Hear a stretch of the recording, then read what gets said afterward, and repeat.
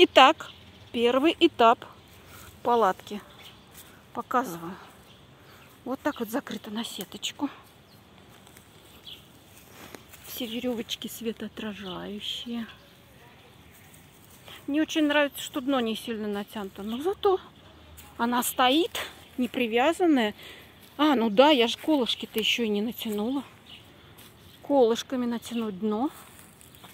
Ну, вот так вот дверцы вот так под, подвязываются. Вот сетка.